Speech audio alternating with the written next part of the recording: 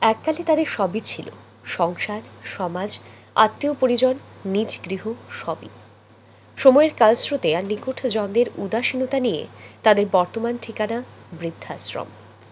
তবে সেখানেও সম্মিলিত প্রাণের অনুরণনে তারা ভালোই আছেন, অবলম্বন সোসাইটির নিবিড় পরিচর্যায়। শারদীয় পুজোর এই আনন্দক্ষণ আর শনিবার বিশ্ব প্রবীণ দিবসে, তাই বরজলার আপনা ঘর বৃদ্ধাশ্রমে এই প্রবীণদের মাঝে সস্ত্রীক উপস্থিত ছিলেন রাজ্যের মুখ্যমন্ত্রী মানিক সাহা। নিকট আত্মীয় জনের মতো বৃদ্ধাশ্রমের সব আবাসিকদের আশ্বস্ত করে আর নির্ভরতার কথা বলে মুখ্যমন্ত্রী জানান, সরকার যে কোনো সমস্যায় তাদের পাশে রয়েছে। একসময়ের বহু পরিবর্তনকে যারা নিজেদের প্রাণ চাঞ্চল্য দিয়ে বাস্তবে রূপ দিয়েছেন সেই প্রবীণদের উদ্দেশ্যে মুখ্যমন্ত্রী বলেন, শুধু সরকার নয়, সারা ত্রিপুরার মানুষ তাদের পাশে আছে। তারা যাতে কখনোই নিজেদের একা না ভাবেন।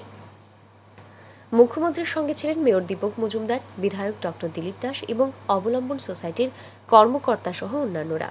এবং ভগবানের কাছে প্রার্থনা করি, আমাদের সরকারের তরফ থেকে যদি কোনো রকম আমাদের কোনো সাহায্যের প্রয়োজন হয়। নিশ্চয়ই আমাদের সভাপতি এখানে আছেন, ওয়ার্কিং প্রেসিডেন্ট আছে। সর্বদা আমরা সচেষ্ট থাকব। এবং আজকের এই পুজো উপলক্ষে আপনাদের কাছে একটাই বার্তা দেব, যে আপনারা নিজেদের একা ভাববেন, আলাদা ভাববেন। আপনারা সবাই ইউনাইটেড সবাই একসাথেই আছেন। কিন্তু আপনাদের বাইরে ছাড়া আগরতলা কেন সারা ত্রিপুরার লোক, আপনাদের সাথে আছে। কোনো রকম সমস্যা হলে, কোনো ধরনের যদি মনে হয় যে যেটা হওয়া বাঞ্ছনীয় নয় তো তার নিরসনে আমাদের সরকার আপনাদের সাথে থাকবে। আগরতলা মিউনিসিপাল কর্পোরেশন তো আপনাদের সাথে আছেই। তো আজকে আমরা পুরো ফ্যামিলির টিম আপনাদের এই সংস্থাতে এসছে। তো আমি একটা আজকে ফার্স্ট অক্টোবর এখানে ফিশারি কলেজেরও আজকে ওদের ফাউন্ডেশন ডে তো সেখানে একটা অনেকটা দেরি হয়ে গেছে। তো সবাই আমরা এসেছি, আপনাদের দেখতে। একটু মানে মন স্পর্শে একটা একটা টাচ সেটা বুঝবার জন্য আসা, আর কিছু না। আগামী দিন নিশ্চয়ই আমরা আসব। কারণ এমনিতে শোনা আর এসে জানা, দুটোর মধ্যে কিন্তু অনেক তফাৎ। তো আমরা দেখে গেলাম এবং আমি এই সংস্থার সবাইকে যারা এর সাথে যুক্ত, সবাইকে আমি ওনাদের কাজের অবশ্যই অবশ্যই প্রশংসা করছি। শুধু নিছক সরকারি কর্তব্য পালন করা নয়, মনের আর প্রাণের উষ্ণতা খোঁজার জন্যই এই বৃদ্ধাশ্রমে আসা তাই নিজের বক্তব্যে বলেন মুখ্যমন্ত্রী। রাজ্যের প্রধান অভিভাবকদের কাছ থেকে মমতা নির্ভরতার কথা শুনে বৃদ্ধাশ্রমের ঘরে তখন আবেগের নমনীয় রূপ।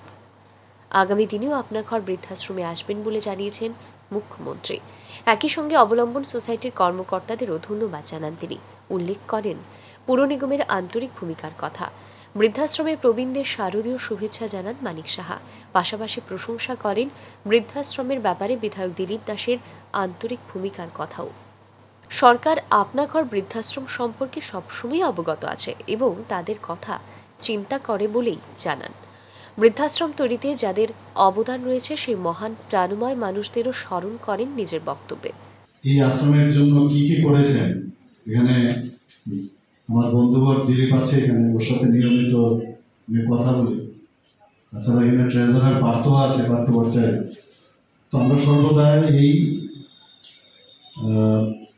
এই ঘর সম্পর্কে সবসময় আমরা অবগত আছি। কি হচ্ছে, না হচ্ছে। মাঝে মাঝে আমাদের মেডিকেল টিম আমি অনেকবার পাঠিয়েছি এখানে ওদের ডেন্টাল অ্যাসোসিয়েশনের তরফ থেকে অনেকবার। যদিও আমি আসতে পারিনি, কিন্তু আমি যেহেতু ওই অ্যাসোসিয়েশনের ফাউন্ডার মেম্বার তো সেই হিসেবে আমি ওনাদেরকে অনেকবার আপনাদের কাছে পাঠিয়েছি।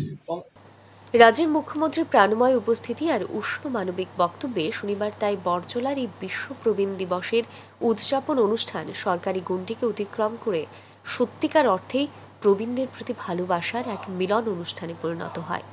মহাষষ্ঠীর দিনে নিজের আপনজনদের কাছ থেকে কাঙ্ক্ষিত মমতা আর ভালোবাসা বঞ্চিত এসব প্রবীণরা রাজ্যের মুখ্যমন্ত্রীর কাছ থেকেই পেয়েছেন সেই কাঙ্ক্ষিত মমতার স্পর্শ। যে মমতা আর স্নেহ নিয়ে একদা তারা পরিবার আর সমাজ গঠনে ব্রতী ছিলেন। ব্যুরো রিপোর্ট, রাইজেস্ট নিউজ।